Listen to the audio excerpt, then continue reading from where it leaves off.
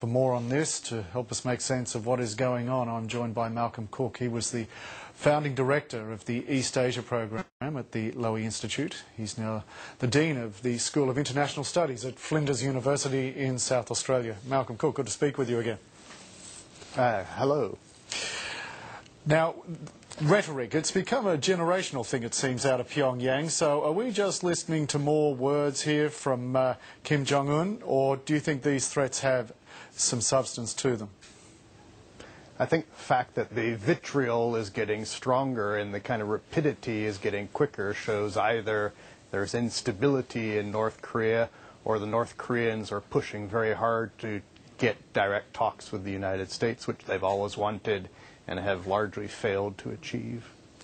And with the South Korean uh, leader warning uh, that Seoul has preemptive strike plans, in place should there be any sign from the north of an imminent attack? How likely is it that that could well raise the stakes or could it have a cooling effect in Pyongyang? Uh, Pyongyang is very hard to read, as our foreign minister noted earlier today. But in 2010, South Korea absorbed the loss of a naval ship sunk by the North Koreans, and then later the shelling of an island that killed some civilians. So I think South Korea has reached its level of tolerance for accepting deaths caused by North Korea, so their reaction, while new, is not surprising. With, with your reading there at the start, Malcolm, where you said it may well be outwardly focused, or Pyongyang might be trying to deal with something internal about leadership stability, are there uh, signs, is there a sense that the young and still relatively new leader is dealing with some sort of instability?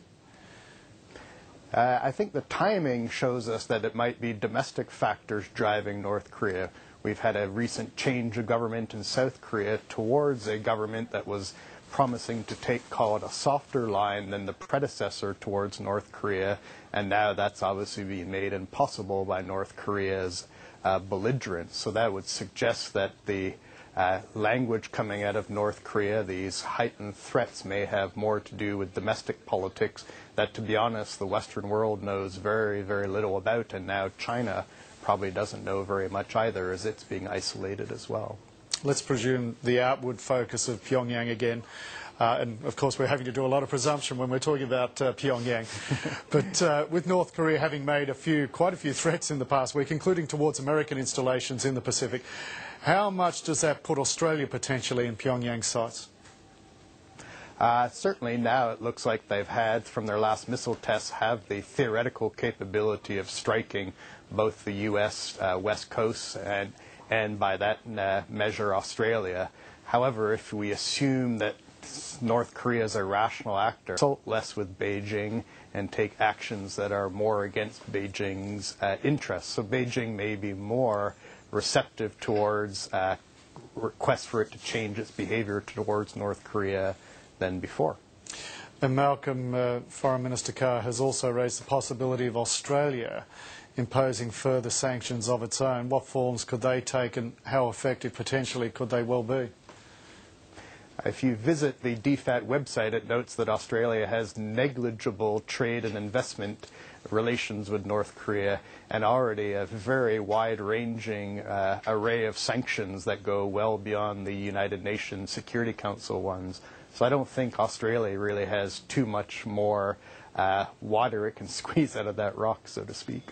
And what of America? It's making its presence viewed, if not felt, even greater at the present time, including with the Uh, sending in of these two stealth aircraft military exercises what will be the likely role of the Americans on the peninsula in the short term? I think what they're doing is reassuring both their South Korean ally of their continued support and the wider region of their continued interest and commitment to Asia Pacific, which Australia will be following carefully. Under the Obama administration, they've been quite firm that they won't engage in bilateral talks with North Korea until North Korea changes its behavior in a positive way. Uh, and North Korea is trying to up the stakes in that bet. Uh, hopefully, Washington will stay firm and not uh, offer North Korea a positive outcome to its bad behavior. How, how confident are you that the talking will continue rather than action and moods will quell and quieten down?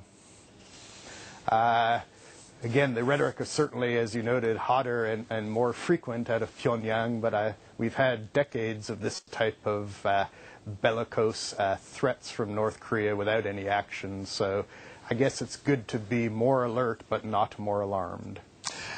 Malcolm Cook at Flinders University, as always, thanks very much for sharing your knowledge. Well, the British government